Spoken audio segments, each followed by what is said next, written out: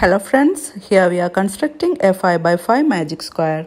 In the last video, we have constructed a 3 by 3 magic square with the roll numbers 1, 2, 3, 4 and 5 which I was explained in detail and now using the same rules we are constructing a 5 by 5 magic square.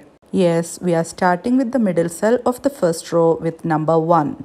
Here no diagonal cell is vacant so going to the bottom cell of the next column and fill it with number 2. From here the diagonal cell is vacant so fill it up with number 3. At this point there is no diagonal cell vacant and there is no columns further. Go to the leftmost cell of the upper row and I am filling here with number 4. From here the diagonal cell is vacant and so I am filling here with number 5 and here we see the diagonal cell has already been filled. So we are coming to the cell below the cell we have reached and fill the cell with number 6. Here the diagonal cell is vacant so fill it with number 7 and again the diagonal cell is vacant so fill it with number 8. Here no diagonal cell is vacant so come to the bottom cell of the next column and fill the number 9 over there.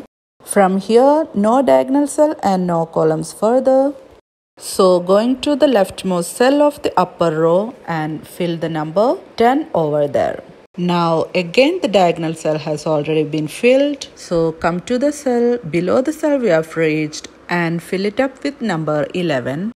Now we are going diagonally as all the diagonal cells are vacant. I am filling the numbers 12, 13, 14 and 15.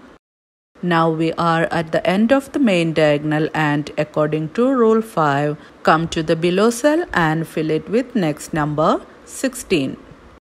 From here, no diagonal cell is vacant and no columns further so come to the leftmost cell of the upper row and fill the number 17. From here, no diagonal cell is vacant but next column is there so fill the bottom cell of it with number 18 again going diagonally with number 19 and then with number 20 but the next diagonal cell has already been filled. So come to the cell below the cell we have reached and fill here number 21 and again diagonally number 22 now no diagonal cell is vacant and no columns further.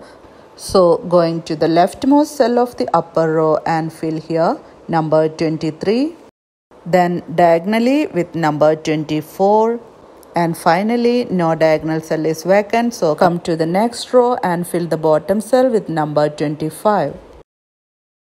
Now the sum of numbers in each row and each column is 65 and the sum of numbers along the diagonal cell is also number 65 and hence we got the magic square.